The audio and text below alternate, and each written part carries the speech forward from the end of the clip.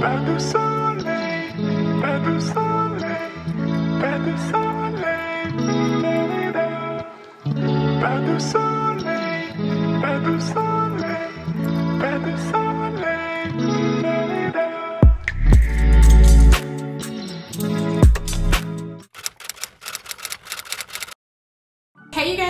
welcome to my channel. So today, new style for you guys. Very affordable style as well for you guys. I am rocking these crochet butterfly locks. So these locks are from Niseyo Hair and I believe I have them in 14 inches in color 1B. But like always, I'll put all the information down in the description box for you guys. Anyways, this style took me no time to do. I thought it was gonna take me a little bit longer. I knew it wasn't gonna take too long because it's crochet, but y'all see in a minute when I am showing you how I actually install this because I'm gonna show you two different ways of how I ended up putting this hair in to save me some time because I have not been playing lately with my hair. I don't want to do it.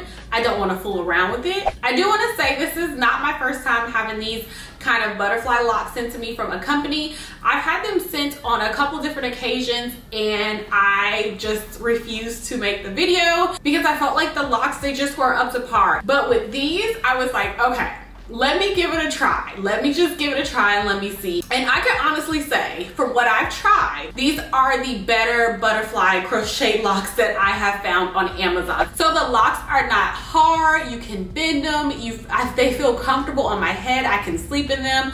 Um, they're not soft locks, so don't get them confused because they do have some weight to them. They're not the they're not super lightweight you guys i can feel them but they're not extremely heavy either which definitely surprised me i finished this style in less than three hours only because of a hiccup that I'm gonna show you guys. I think this style can be completed in between, just depending on if you already have cornrows in your hair or if you have to put them in. It just depends on where you are with like doing your base of your hair.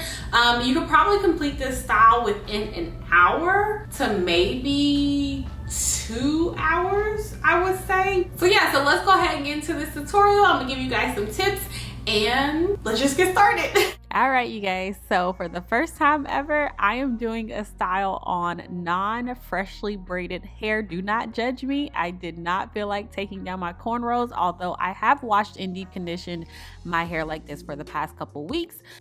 So this is the hair. These are the butterfly locks. You get 12 locks per package and you get six packages total. So you do the math and I'm pretty confident one package is enough. So this is half of the pack and this is the other half. You do not want to put too many of these um, in your head or else they're just going to be too heavy and too bulky. So moving on to the front here, I'm going to do these as singles which you could do this part in multiple ways but the way I'm doing it here is just gonna take them one by one and I just take my lock or braid whatever you are crocheting in your head and I'm gonna hold it up to the section just to see how big like my section needs to actually be so I don't make it too big or too small so lately I have been loving this gummy brand for like my edge control. And so I found this little pack on Amazon. I've already bought the red and the blue before. So I went in with the red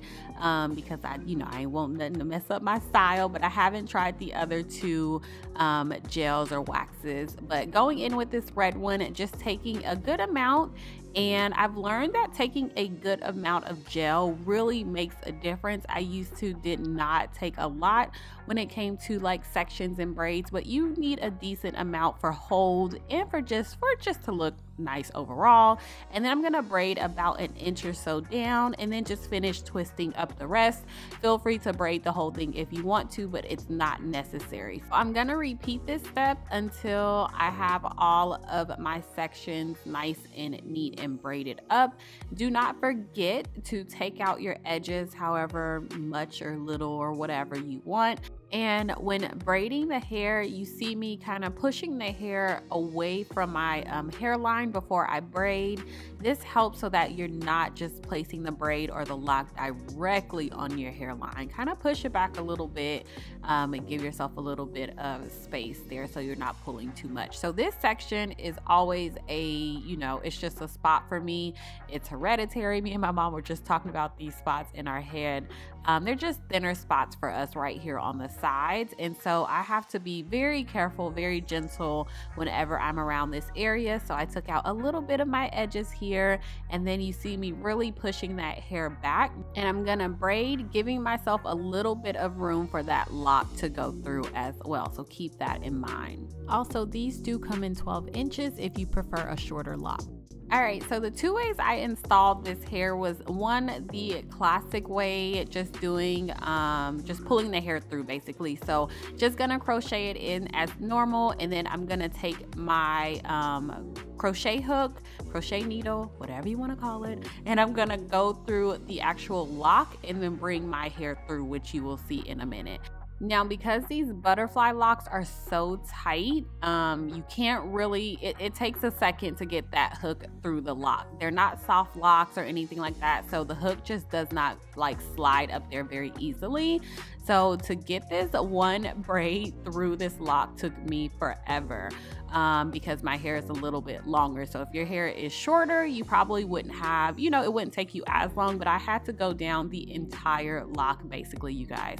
I was like, uh uh-uh, uh, i am not doing this throughout my whole head. So this is what I ended up doing. I just kind of twisted these together or whatever I did right here. Um, and then I just combined them and then next I just crocheted the my hair into the cornrow like going back. So I went back a few inches and then I came up um, kind of like overlapped it as well so that it's nice and firm right there. It's not moving. And I was like this is absolutely perfect. Also, a quick tip would be to place your fingers. You notice I keep placing my um, my pointer finger and maybe my like middle finger on the braid, and then I kind of wiggle the crochet hook through. Don't just pull this hair straight through because it's a little bit thicker, especially if you braided your hair a little too tight and didn't give yourself any room.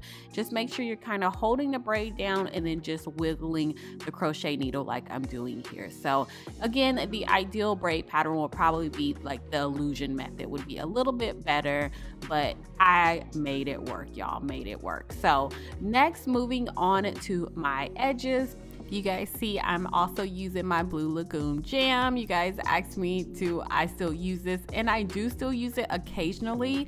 It's just that now I'm here on the East Coast. It's a, the this Connecticut weather has been amazing. I haven't really needed it unlike being back at home in Houston where humidity is always on a thousand. So um, I'm using it today just so I don't have to mess with my hairline for a couple days and just doing a few little swoops. And then that is pretty much it for this this style, you guys. So I hope you enjoyed it. I hope you liked it. If you guys have any questions or comments, please put them down below. And thank you guys so much for watching. Don't forget to subscribe, and I will talk to you guys in my next video. Bye.